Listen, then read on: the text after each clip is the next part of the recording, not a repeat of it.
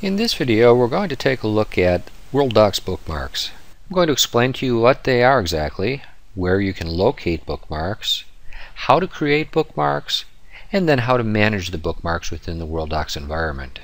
A bookmark is a shortcut to either a favorite file list, a specific client matter folder within your World system, or a saved search that you routinely run. In the top portion of the screen in the bookmark bar, you see that bookmarks can take on the appearance of a folder, a yellow folder, when you're going to a folder location, a set of binoculars with a green arrow just below when the bookmark is a saved search, and then finally the favorite files bookmark may take on the appearance of the application icon as you see with favorite files Excel and favorite files Microsoft Word. The bookmark bar then are one-click access buttons. In the navigation pane found on the left-hand side of the Worldox window, we have the bookmark section. Now in this area, your bookmarks are represented by links. Organizationally, at the top of the list we see our favorite files, and if I expand that list out, you'll see a one-click link for favorite files Excel and Word. If I expand out folders, represented by the yellow file folder, you see all of our folder locations, and then finally at the bottom, searches, are all of our saved searches. Bookmarks can be created a number of ways. We're going to first take a look at creating a favorite files bookmark. If I go up to the top of the screen into the menu bar and click on bookmarks, I choose create. I'm going to create a favorite files bookmark. Click on OK. The favorite file bookmark I'd like to create then are my Adobe Acrobat files. Select it, click on the green check mark. You can give it any name or just choose the default. If you would like it to appear in the top portion of the bookmark bar, you'll check this box. If you don't check the box, it will appear within the navigation pane on the left-hand side of the Worldox screen.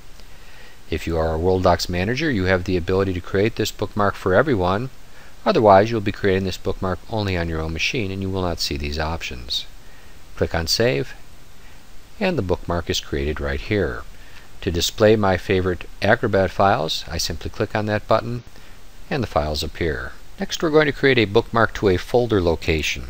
Now this is very useful when you're working with an old legacy structure and you need to navigate to a legacy folder to then move those documents routinely over to the new into your new client structure. I'm going to begin by navigating over to the Profile Groups button and then expand out the client file structure, the active branch, to locate the folder that I would like to create the bookmark button for and that would be Mr. Robert A. Keeler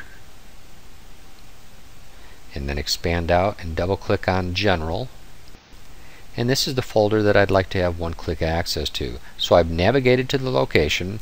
The location bar illustrates where I am. I then click on the bookmarks, add this list.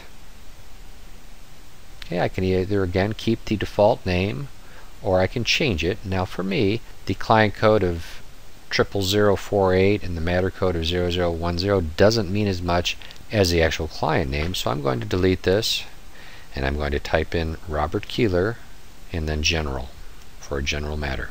Click on save and I now have a one-click access button that will take me directly to that folder. In my next example I'm going to show you how to create a saved search bookmark after you have run the search.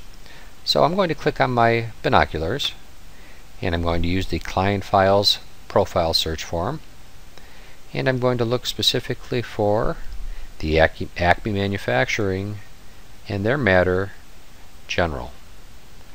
Click on search.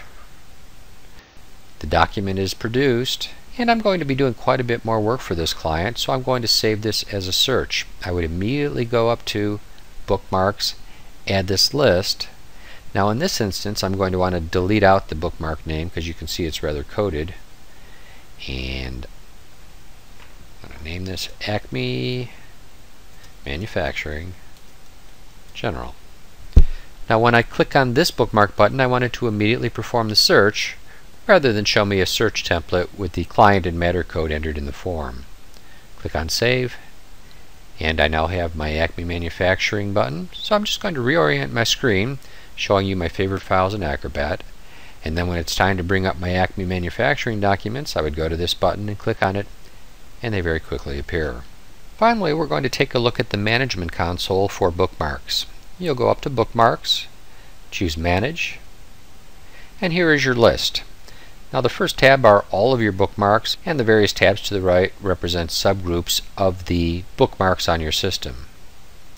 Starting with All, the first column tells you whether the bookmark has been pinned to the bookmark bar, meaning it appears at this top portion of the screen.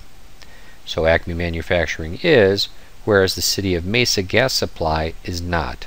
The next column tells you whether it's a personal bookmark or there is a global or public bookmark as we see here with the Worldox globe.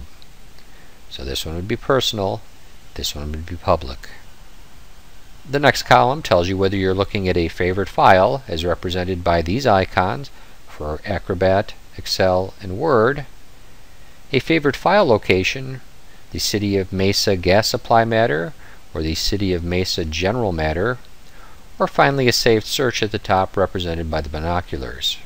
In the top portion of the Management Console, you do have the ability to change the sort order of the bookmark buttons within the bookmark bar.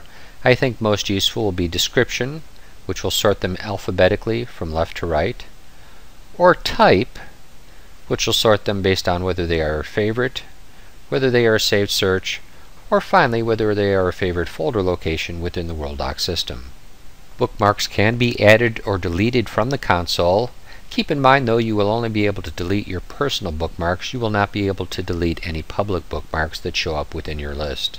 This will conclude your introduction to working with bookmarks in Worldox GX3.